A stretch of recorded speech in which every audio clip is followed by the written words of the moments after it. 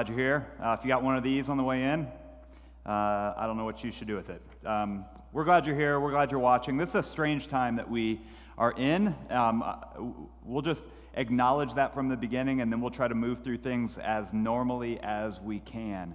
We are in a, a season as a country, uh, as a church, that maybe some of us have never experienced. And we'll just acknowledge that. We want to pray um, together about um, what we can do to care for each other. It's an opportunity, a unique opportunity for us to be the church, for us to be the people of God um, uh, and light in this city uh, in a time where, where people can see more and more of Jesus. So um, we just want to acknowledge that from the beginning. We're just going to try to roll through things as normally as possible. So here's where we'll go. On the 29th of March at 6 p.m., our hope is to be able to meet at Harmony School, uh, to have a night of casting vision and seeing what God is up to among us and seeing what, um, what He w- would do in us as we continue to see um, where we're headed with this school. We, we want to purchase it. That's our desire. That's our hope. That's where we're moving. And so we want to have you all there to tour the facility, to be there, um, to hear about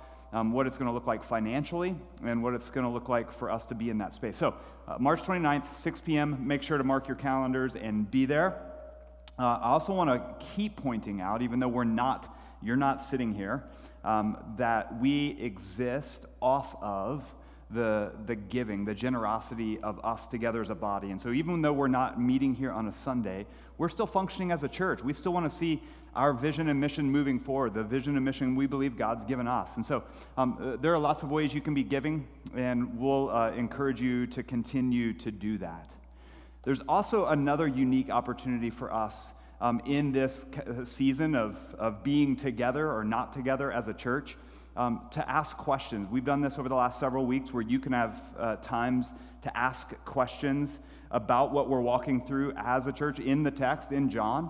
And so, if you have a desire to ask questions as we post uh, this video and, and post our liturgy for Sunday mornings, um, you'll have a space to, to even write in questions and, and dialogue in that way, and we want to want to be able to do that together. So, that question and answer time is still there.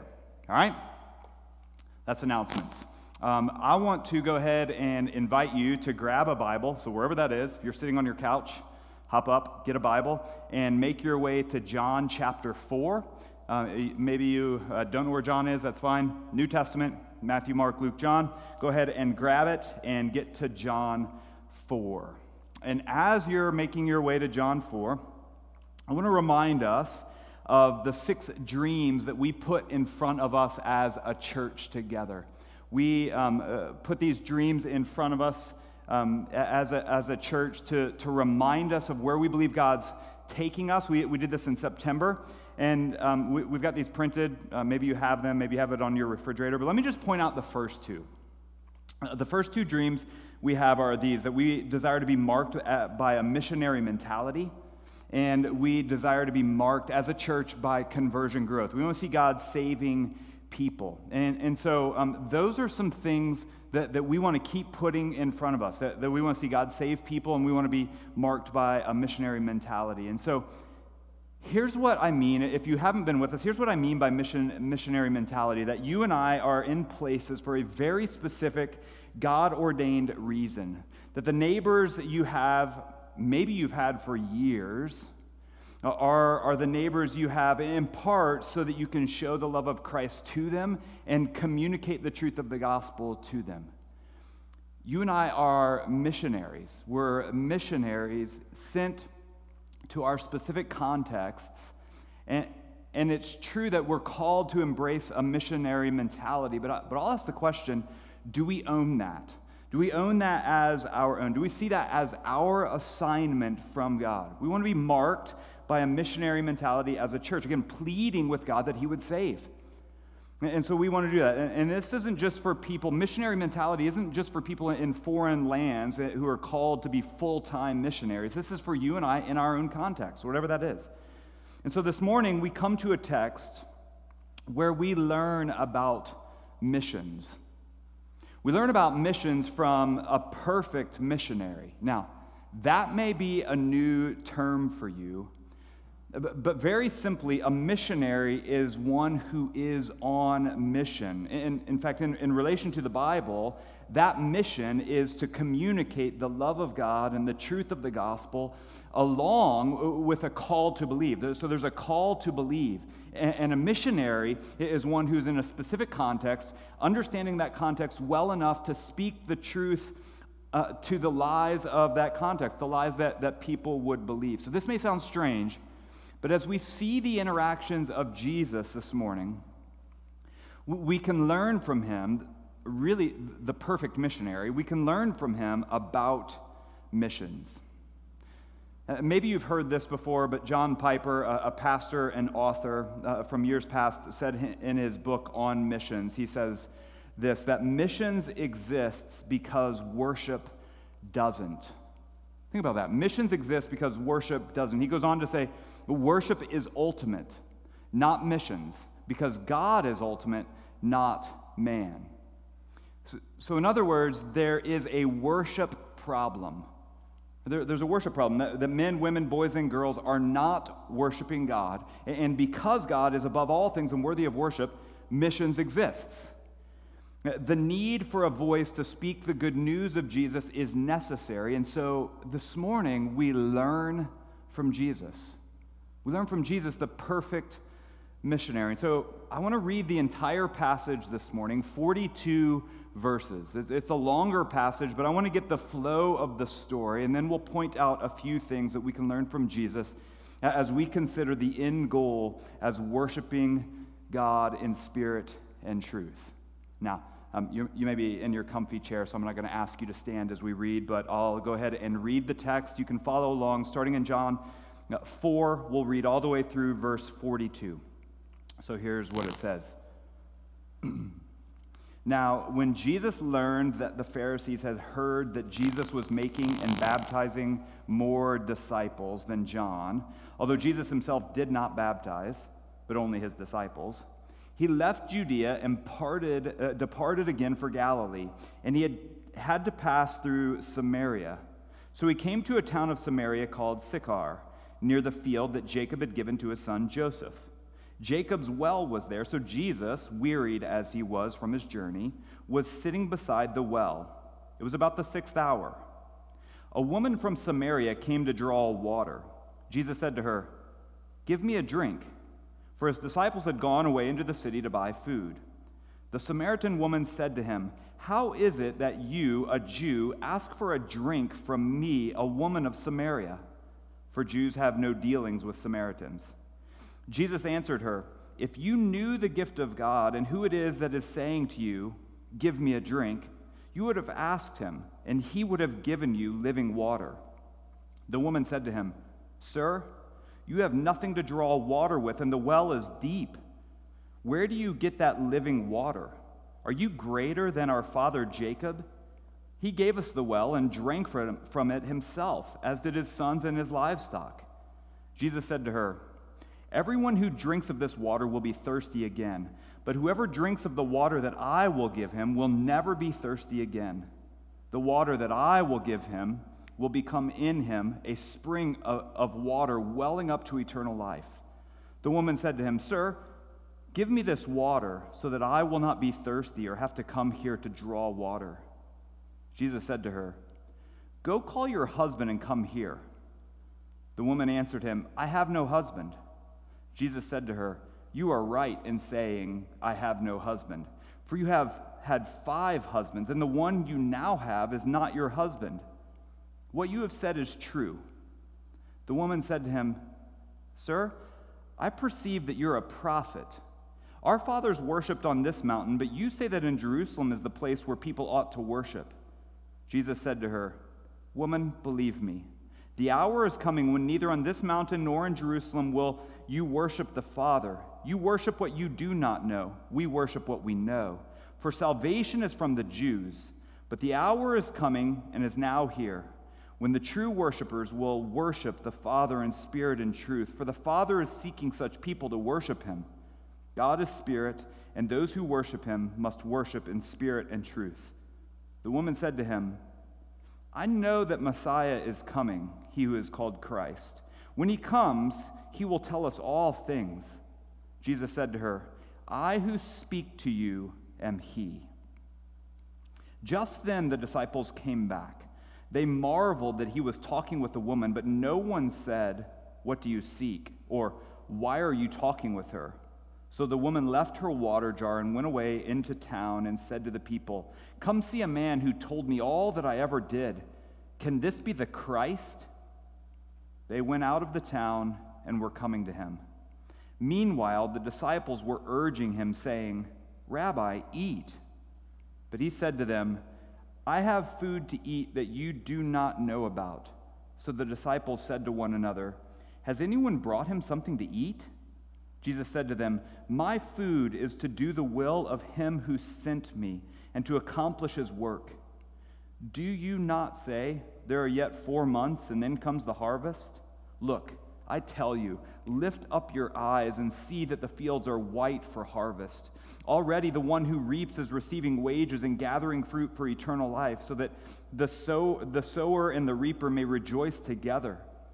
For here the saying holds true one sows and another reaps. I sent you to reap that for which you did not labor.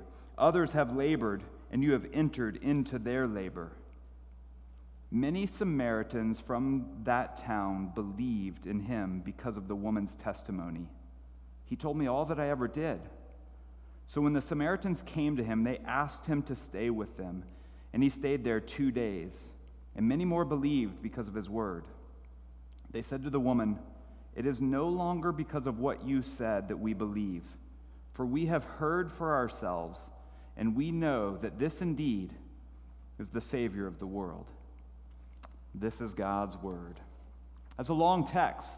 But listen, we, we've got a lot of time because you're sitting on your couch, you're sitting around um, with your family, and you, you can just be there for a long time. So here, here we go. We start with the setting. Let me just set the stage for, for what we see in this longer passage um, here in, in John 4. The, Jesus is in the region of Judea. That Jesus knew that the Pharisees were about to raise a stink about the fact that he had made more disciples than John, even though that's not entirely true because John tells us that Jesus wasn't baptizing anyone. Uh, Jesus decides to avoid this controversy altogether by uh, leaving Judea and heading for Galilee. And I want us to notice something in verse 4 in the setting as we get going. What does it say? I don't care what version you're reading from. It, it says something like, and he had to pass through Samaria. He had to. Now, this is subtle in the text, but I think it's something we learn here from Jesus in his desire to increase the worship of God through what we would say is missions. And it's this this is subtle, but, but it's intentional. John says that Jesus had to pass through Samaria, but geographically, that's not true. Uh, Jesus did not have to pass through Samaria to go to Galilee. He could have taken a longer route around Samaria. In fact, in this day, uh, the hatred of the Jews for the Samaritans dictated their travel plans. They, they made arrangements around Samaria so they wouldn't have to go through Samaria. John doesn't give us any information one way or another about why he did that or, or how, but, but, but we're told Jesus had to pass through Samaria. Uh, Jesus didn't have an issue with going through a region that had been filled with what Jews call half breeds. They didn't have a good view of them. These, these half breeds, Assyrians and Israelites, intermarried and brought together tradition and religion. And so the people of Samaria built a, rival temple on Mount Gerizim, which, which we'll see here in just a second, uh, and looked to it as their own place of worship. And the Jews, because of that, the Jews of Jesus' day were not at all fond of the Samaritans. And, and we're told that Jesus had to pass through Samaria, had to go through Samaria. And so he comes to a place called Sychar, which John tells us is near a place where Jacob gave his son a well, which is a great place to crash after a long hike through the heat. We're told, John gives us the detail, that it was the sixth hour, which is noon. So it's hot. Let's just walk through what was customary in this day. We, may, not, we may not understand this, it may not be something that we grasp, but it was customary in this day for women to go and, and get the water. And this was typically done early in the morning before the heat of the day. The mornings around the community well were, were like any hip coffee shop here in town. Um, not only was it a practical stop, right, for, for caffeine, um, uh, but it was a, a social stop, like, like the coffee shops here. But, but for the well, anyone who was anyone would gather there in the morning to get water. But Jesus doesn't go there in the morning, he goes there at noon. Let's just hear this. This is simple. Uh, he goes there at noon as a man with nothing to gather water. The crowd at the well is going to be pretty small. Why did Jesus go to the well at this hour without a bucket? I think we have to ask that question. Uh, we're told in verse 6 that he's wearied by his journey. Uh, this, again, is subtle, but, but he's human. He's wearied by his journey, but we also have to see that he was intentional about being there. It was intentional. Right? So, so there's the setting of what we're about to see an interaction with an unlikely person. In, in this interaction, we see that this is missions. What we're about to see is missions. I, think we see different ele- elements that make up missions. In verse 7, we see that a Samaritan woman comes to the well to get water at noon. Why? Right? Why is this why is it that this woman comes to the well at, at a time when no one else would be there? Right? Did, did she oversleep? Right? Her alarm didn't go off. It, was she an introvert? She didn't want to be around people. What was going on that this woman would come at noon? If all the other women come in the morning to get water, why did this woman come in the afternoon to get water? It was because, we'll, we'll see this here in just a bit, she was an outsider.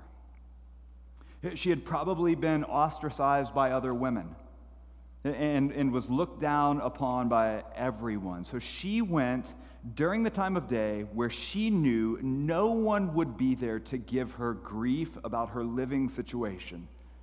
And, and, and, why did Jesus go to a well at a time when no one would be there and, and he went there without a bucket? I think that question has to come to mind as well. And it's because he was intentional about being with those who did not yet see him as Savior. I think we could say the motivation was, at least in part, his love for others, that, that, he, that he was loving others. Love compelled him to be near those who were unlovely. Another gospel account, Luke chapter 19, verse 10, we're told that Jesus came to seek and to save the lost. That, that's why he came. He, he did that out of love. And, even the woman sees the paradox in their interaction as they come together. And so she pushes against this issue. What, why are you here? She asks, Why are you, a Jewish man? She just rolls through it. Why are you, a Jewish man, asking me, a Samaritan woman, for a drink? The, the whole situation is abnormal. But it's because of this that, that we learn from Jesus about his intentionality of being in situations where there may be an opportunity to extend love to those the world does not love. And I think we can learn from Jesus uh, about a missionary mentality. Now, let me ask a, a few questions uh, for our own application. when was the last time? You went anywhere because you knew there were going to be people there who didn't yet know Jesus. Uh, maybe even people, the world around us uh, doesn't really love. When's the last time you went anywhere because you thought, oh, people who don't yet know Jesus are going to be there? Are, Maybe a, a, a, question that hits our hearts a little more is this Are you more concerned about what your Christian friends may think of you if they find out you were there, wherever that is? Think about it this way Jesus, a Jewish man, intentionally sought out a conversation with a Samaritan woman. We'll see here in just a bit, what was probably promiscuous. It wasn't sinful for Jesus to interact with her. What wasn't sinful for Jesus to interact with her, but it was absolutely culturally taboo. It, Jesus came to seek and save the lost, so he placed himself in opportunities where, where, where they would be there. Are, are we doing that? I'm not suggesting that it would be good for us to step into situations that, that, that may tempt us to sin. So maybe you've got a history and something that may tempt you to sin. So I'm not suggesting that you would step into those places, but I am suggesting, out of a deep love for others, that we would move toward those who don't yet know Jesus. And I don't want to uh, pull something out of thin air here from, from the text. I, th- I think we see it here. Uh, one of the greatest ways to form a relationship with others who don't yet know Jesus, and maybe you've had experience with, with this, one of the, the greatest ways for you to form relationships with others who don't yet know Jesus is to invite them in to, to serve you in some way. Do you see it in the text? Jesus said to the woman, Would you give me a drink?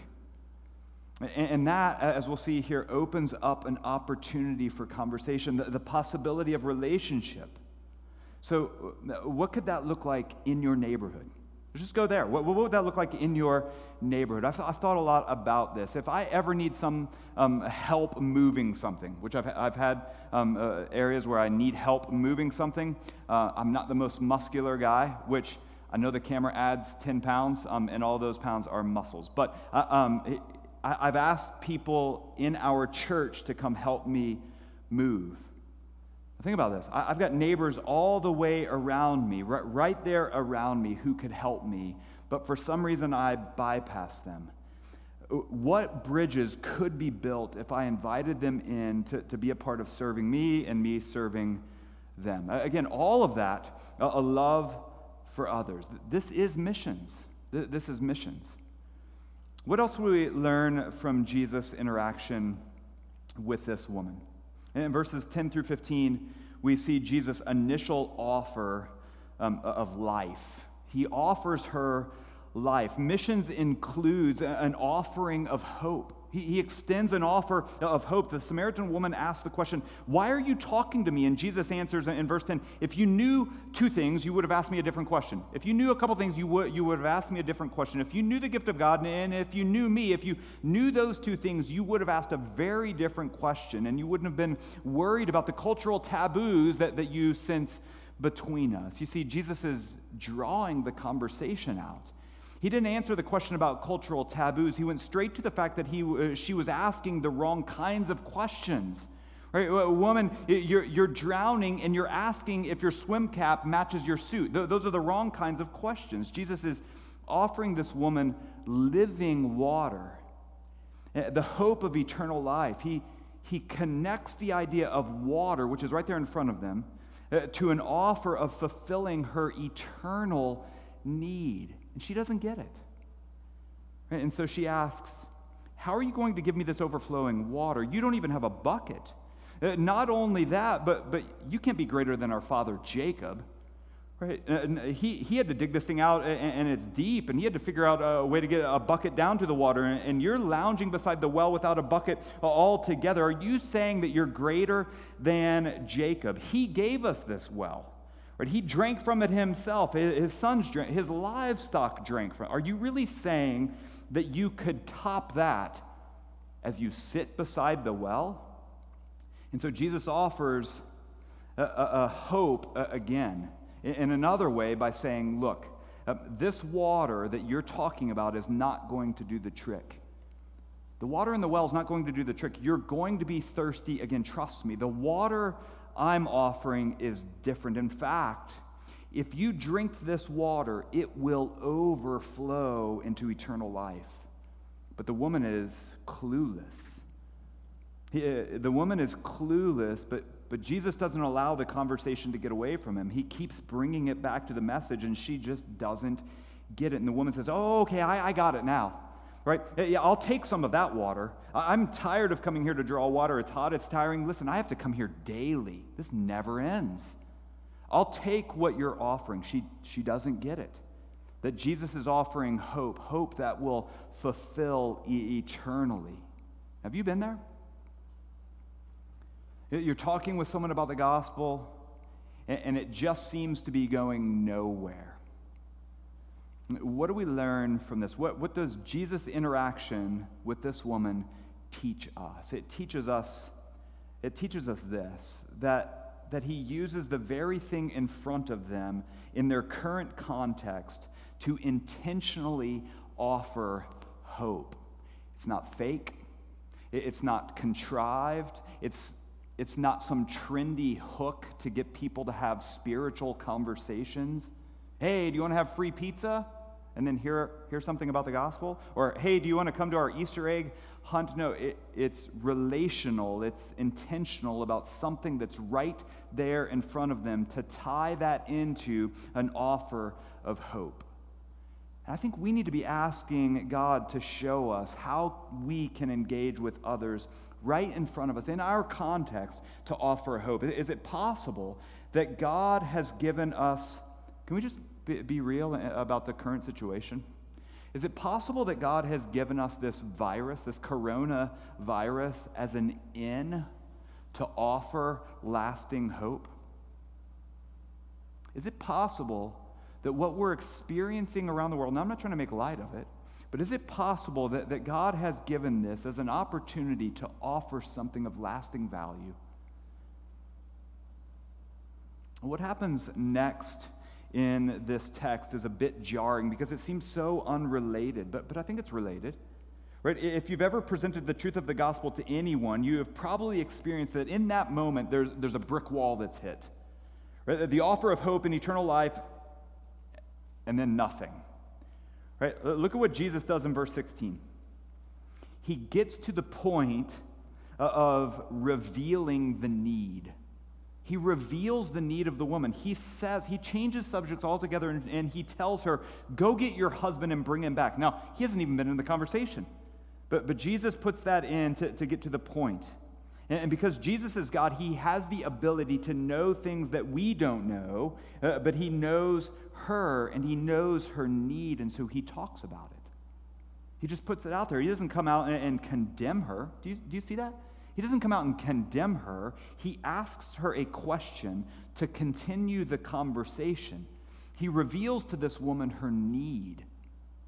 He asks a question to open a door to talk more about the current sin in this woman's life. But I think we learn from Jesus here that, that even uh, the talking about sin can be done in a way that's not a turnoff. Right? Jesus allowed the woman to come to grips with her own sin. He says, Go get your husband. And she responds, I have no husband.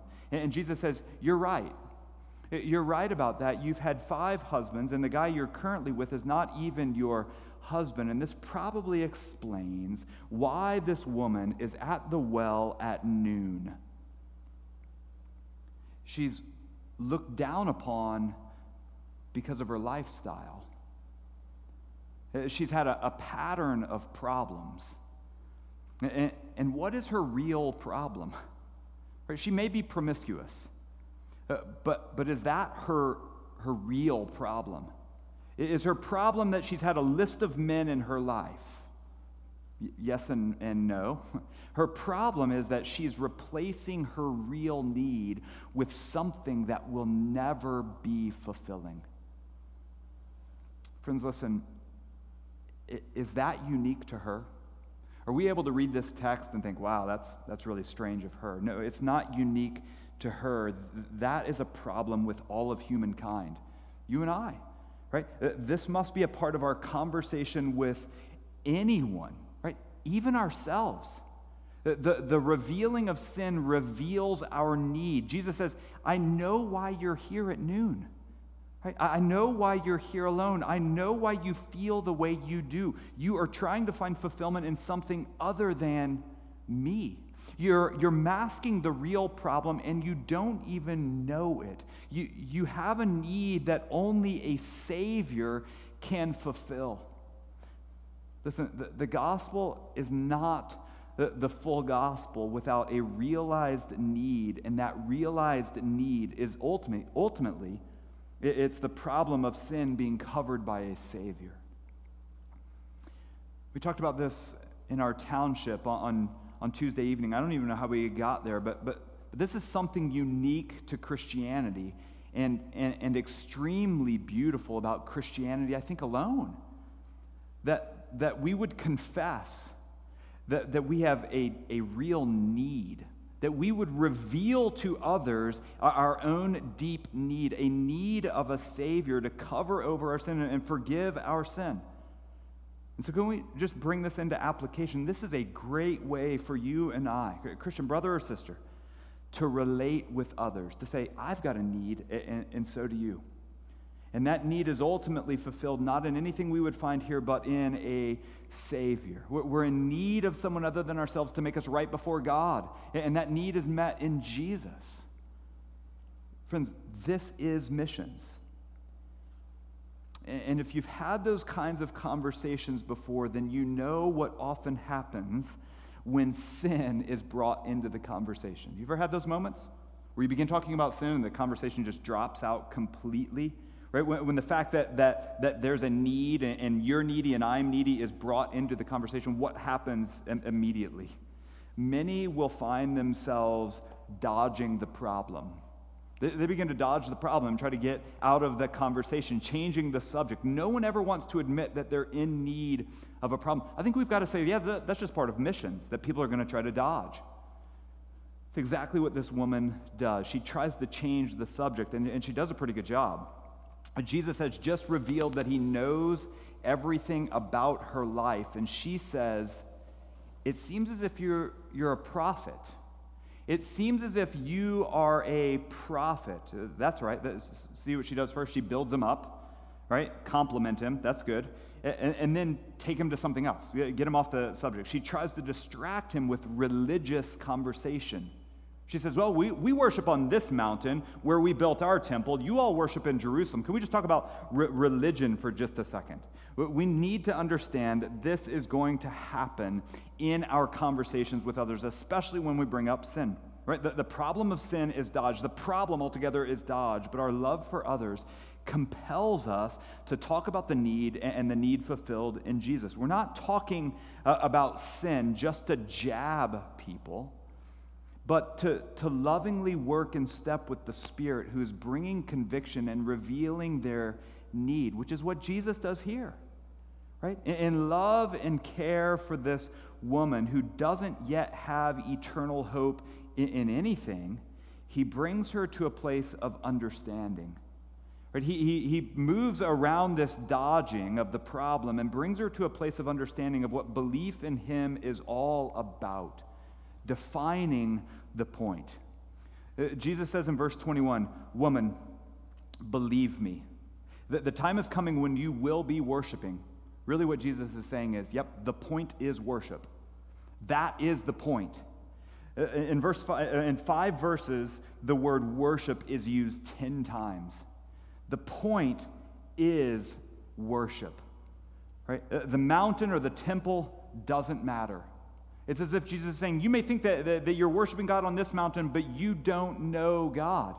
Right? At least the Jews are worshiping someone they know. And not only that, but historically, salvation has been known to have come from the Jews. Let's, let's not change the subject, woman.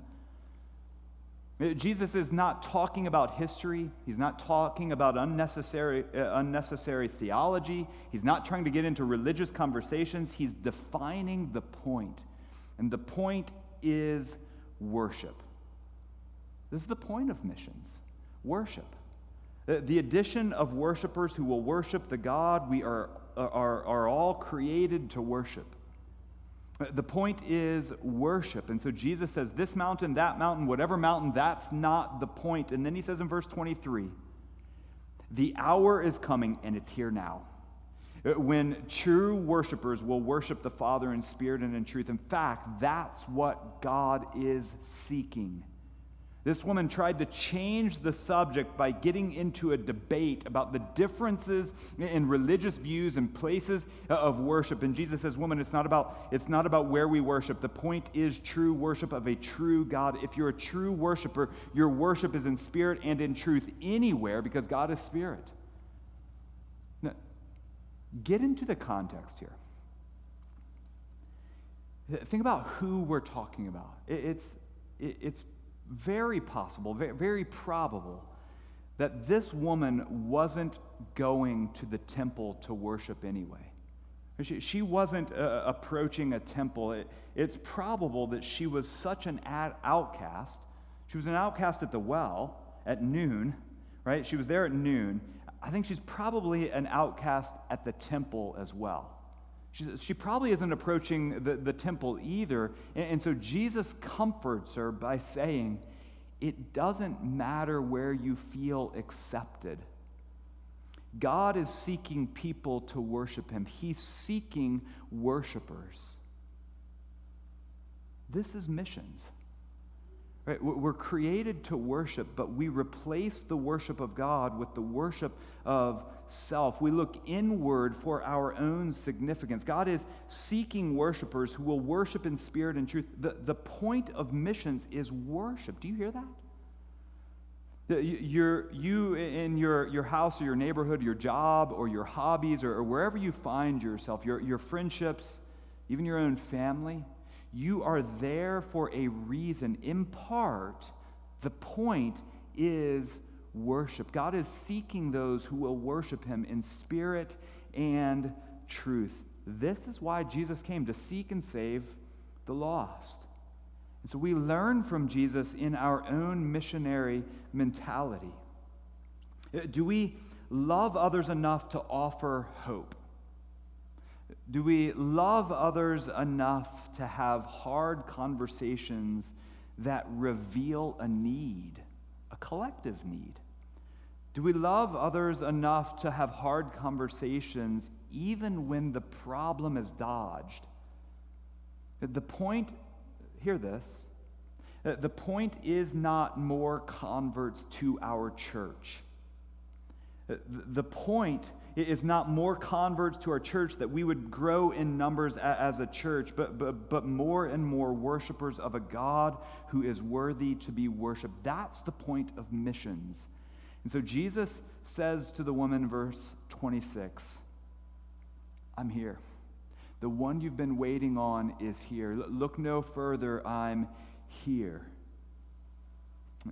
In fact, I, I, think we see that, that the one she's waiting on, Jesus, the Messiah, is himself a missionary.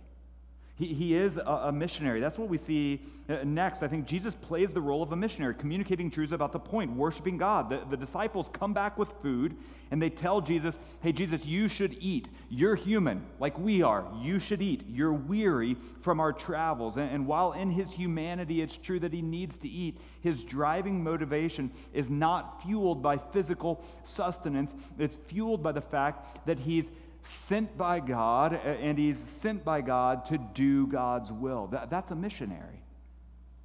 All right, to say that Jesus is a missionary is probably hard for us to grasp, isn't it? It doesn't really fit into our context. Not only is he bringing the message, here's what we've got to understand that's different about us. He, not only is he bringing the message, but he himself is the message. And, and he knows that.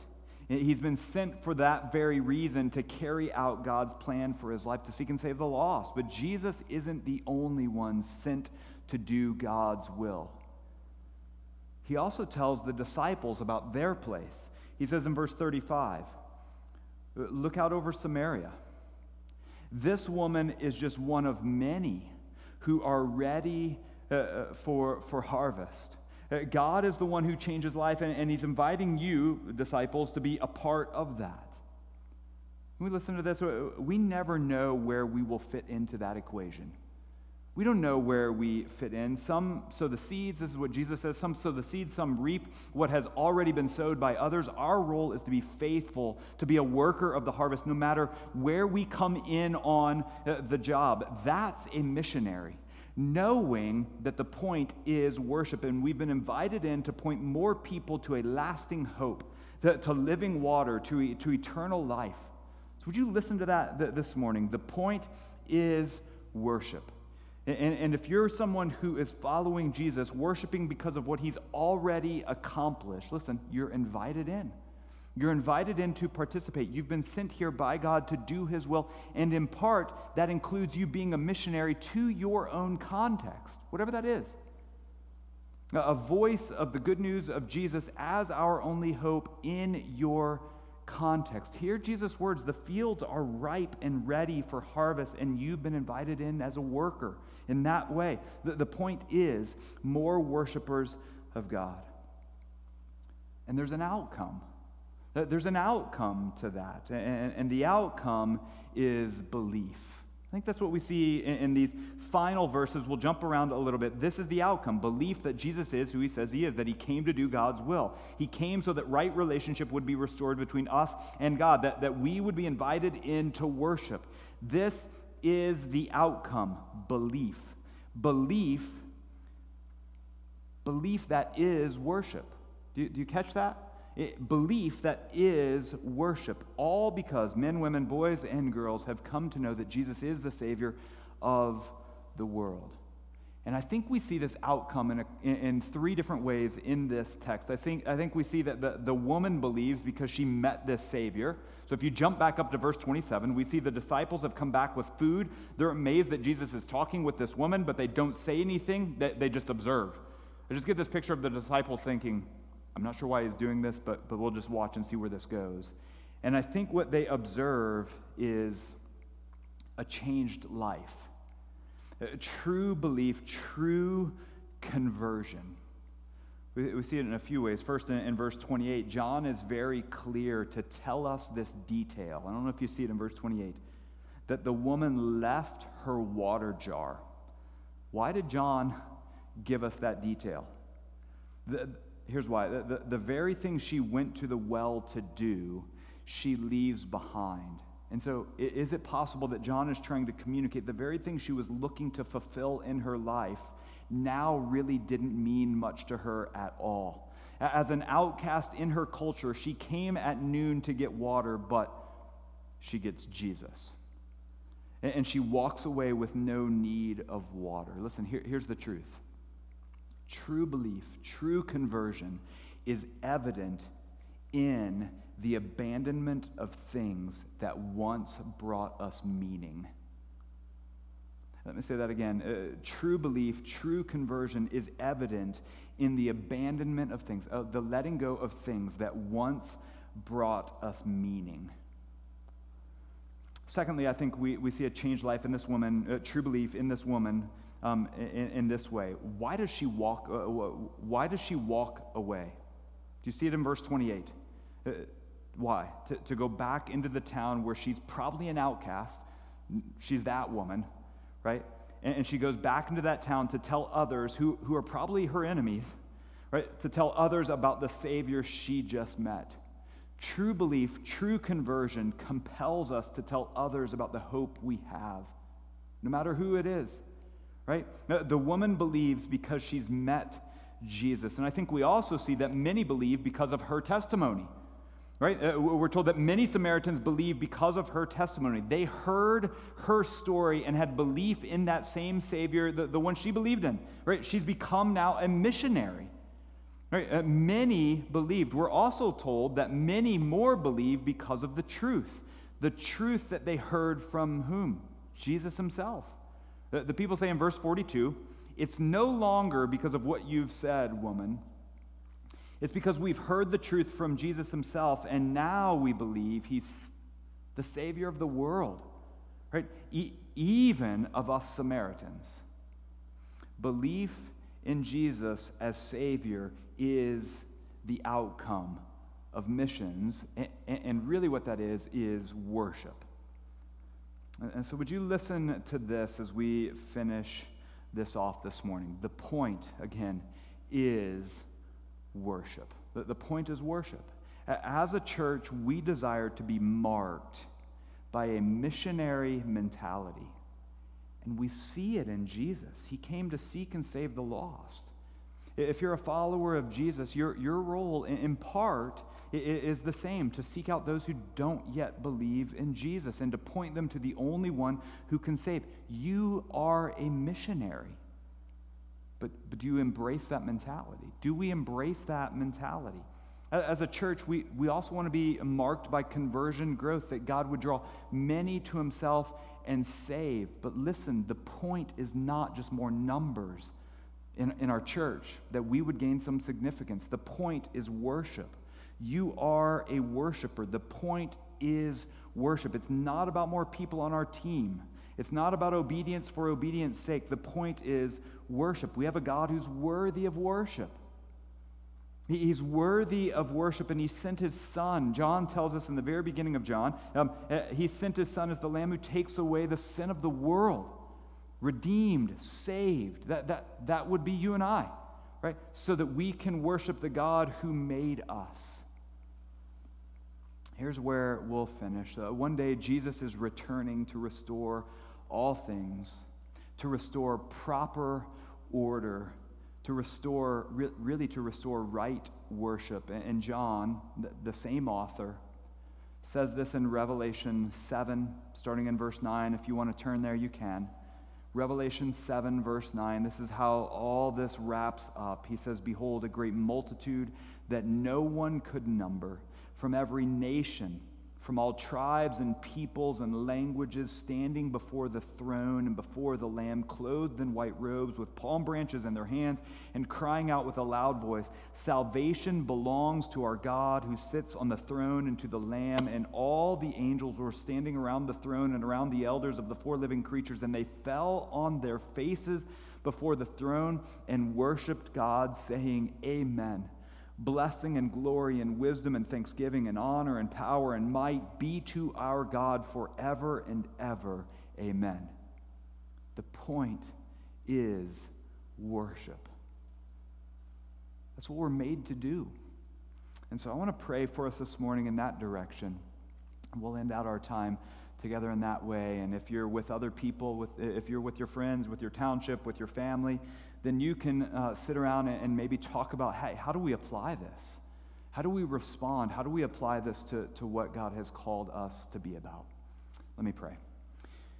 God, we come to a text like this, a, a longer text, a story about a woman who, who is in desperate need, just like we all have been. And, and we see the way that Jesus interacts with her is, is compelled by love to reach out to her, is compelled by love to, to move around even the social and cultural taboos to get to um, the heart of a person who's in desperate need. And God, my prayer for us as a church is that we would have the same kind of missionary mentality that we see in Jesus Jesus came to seek and save the lost, and we're, um, as followers of Jesus, we're called to be a part of that. And so I pray that you would help us to have the same kind of missionary mentality, that we would seek out those who don't yet know Jesus and point them to him. Would you help us in that?